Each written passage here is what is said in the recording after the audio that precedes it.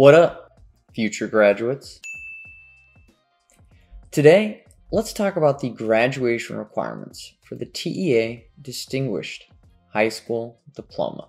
This video's purpose is to give you a better understanding of the six things that you will need in order to graduate. First, you need 26 credits. Second, you will need to graduate with an endorsement. Third, you must pass five STAAR tests.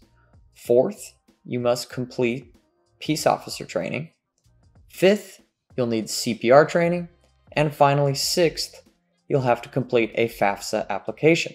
Make sure that you consult with your super amazing counselors, admin, dean of instruction, registrar, and graduation coach if you have any questions about your personal graduation plan or your transcript.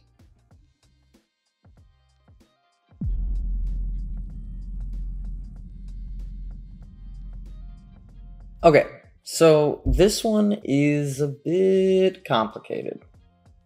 So, in order to graduate with the Distinguished Diploma, you will need to accumulate 26 credits. But it's not just a simple number. You'll need a certain number of credits in certain specific areas. You'll need credits in your core classes, you'll need credits in your electives.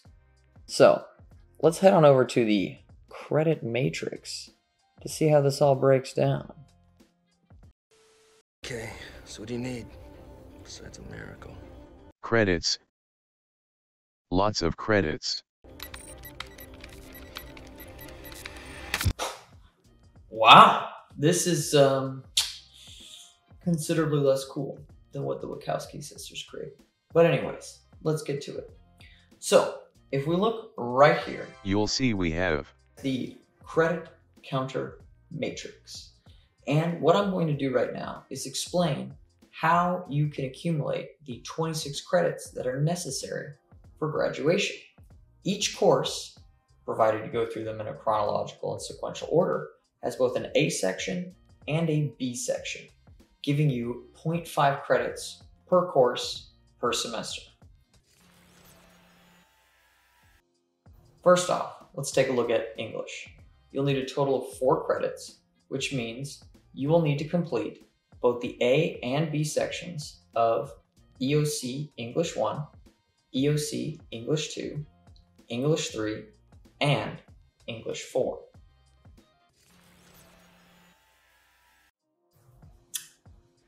For mathematics, you will need four credits. For math, you'll need to complete two semesters, again, of each class, and there are three required courses you absolutely have to take. First is Algebra 1, EOC. Second is Geometry. And third is Algebra 2. Further, you need to complete another type of math class that is offered from your school. That's a more advanced course. So, for science, you will need to complete four credits. You will need to complete the A and B section of four separate classes. The first is going to be EOC Biology, your freshman year. Secondly, you have your choice between chemistry or an advanced science class. Third, you'll need to pick between physics or another advanced science class. And you will also need to take fourth, one last science class as well. For social studies, the best subject, you will need to complete four credits.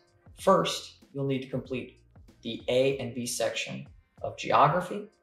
Secondly, you'll need to complete the A and B section of world history.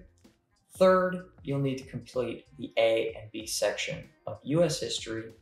And fourth, you'll need to complete one semester of government and one semester of economics your senior year. Additionally, in order to graduate, you will need to also complete some courses that are not core classes. This means that you will need to complete the following classes. You'll need one credit of PE, That's two semesters. You'll need two credits of foreign language. That must be accumulated successively. You'll need one credit for fine arts. You need half a credit for health.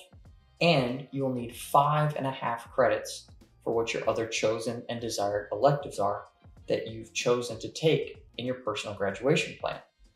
It's important for me to remind you guys that in order to receive credit in a class, you have to have an average of above a 70%, right? When we compare the A and B semesters, the average has to be above 70% in order to get credit. Additionally, as I've mentioned, right, you need certain core classes, AP classes, advanced academics classes, IB classes, and dual credit classes would obviously count for those classes.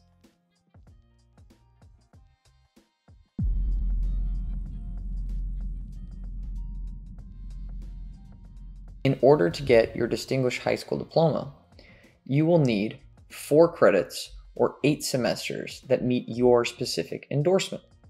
There are five areas of endorsement, and each endorsement has many different types of classes that qualify.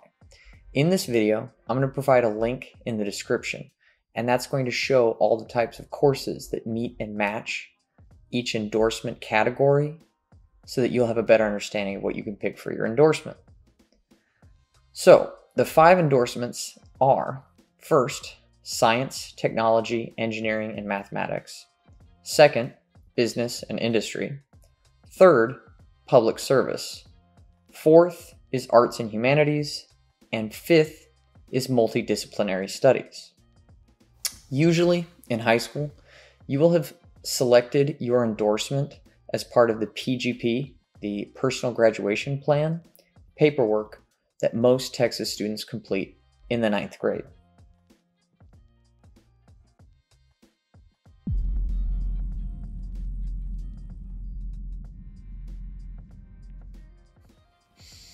The STAAR test, our absolute favorite thing in all of public education.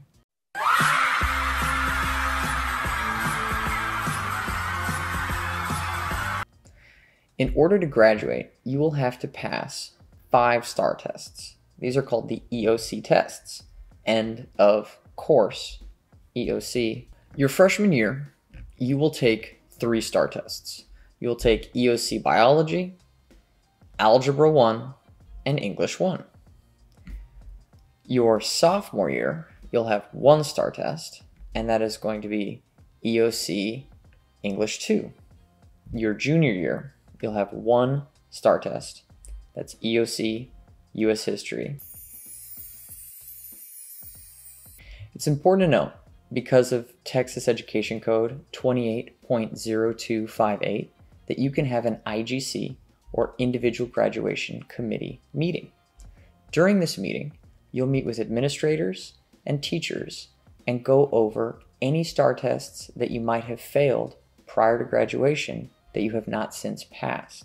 Therefore, if you've passed at least three STAAR tests, you will be able to complete at least two IGC projects to gain credit for two of the STAAR tests that you might have failed.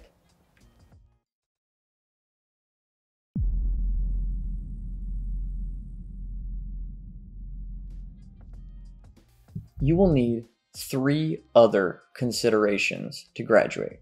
First, you will need to be CPR certified. Secondly, you will need to complete peace officer interaction training. Three, and finally, you'll have to complete one of the three following options related to student financial aid. First option, you complete and submit a free application for federal student aid. That's called FAFSA. Second option, you complete and submit a Texas application for state financial aid. That's called TAFSA. Or, third option, you submit a signed opt out form, planning not to submit a FAFSA or TAFSA form.